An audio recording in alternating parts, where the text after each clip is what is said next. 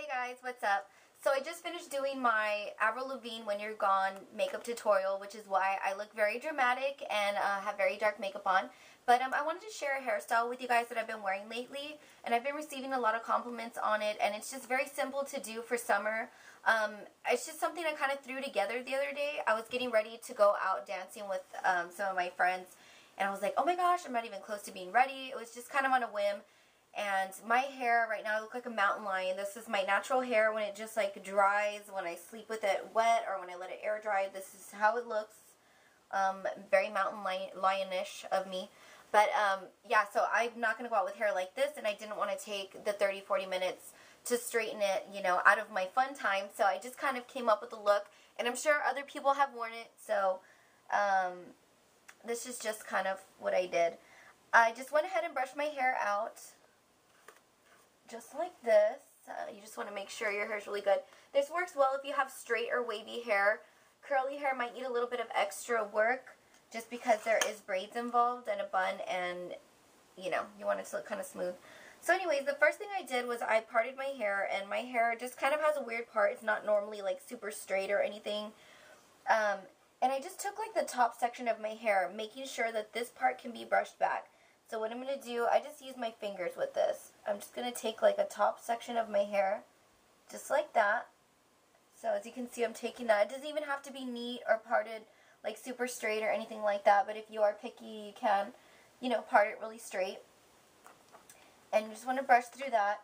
And then what I do is I go ahead and braid this. And when you braid it, you want to make sure that you're braiding towards the back.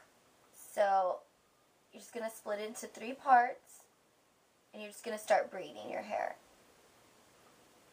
Just like that. So you want to make sure you're aiming back. And if you don't have bangs, like my bangs are still growing out, you can include your bangs in the braid if you'd like. But since mine are still growing out, I kind of like the way it looks when they're out of the braid.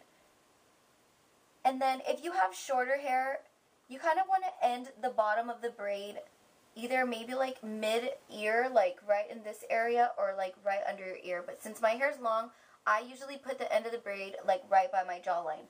So after I curve it back a bit, I start, you know, just coming down to see where I'm going to end my braid at. So I'm going down, down, down. And this is just a look that's just meant to be just quickly put together, which is why I say it doesn't have to be perfect because the end result does look really cute. So you see I'm already on my jaw, my jawline just like that. So I'm going to take a little elastic, just like this little black thing, and you can buy these at the dollar store, like a whole bundle of maybe like a 100 to 500 of them for a buck. So I like these because they just kind of disappear into your hair. And there's all different colors of elastics. So I'm going to go ahead and do that to my other side. Okay, so I've done both sides. Also, I do want to mention that if you're wearing your hair really pin straight and you add a braid that's like this size or smaller, it does look really cute and it adds just kind of like a little bit of texture to your look. I like doing that once in a while. Like I'll put a braid here, here, and then two in the back just to kind of blend it all together. But anyways, so now I still look like a lioness with like two braids on my hair. So to fix the lioness and the jungle feverness, we're going to go ahead and put it back and you just want to brush this back part that's still standing just like that. And the reason you left this like this is because it's going to be blended into a bun. So you're going to kind of just pull your hair up, just like that. Just kind of smooth the crown area.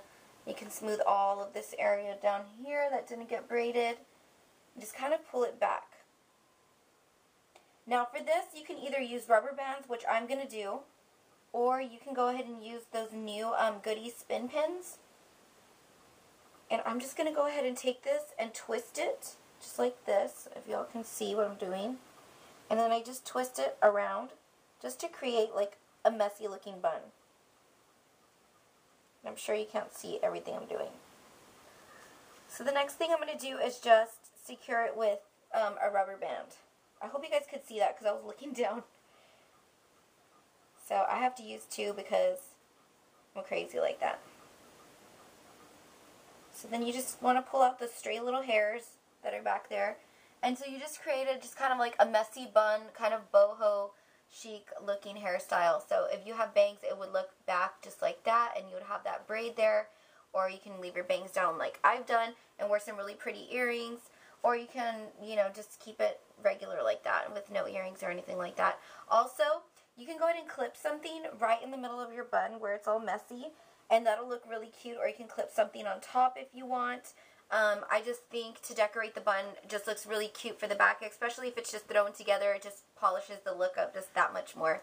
So I hope this was helpful. It's just a very easy, quick um, summer look, and I hope y'all enjoyed it. I'll see you later. Bye.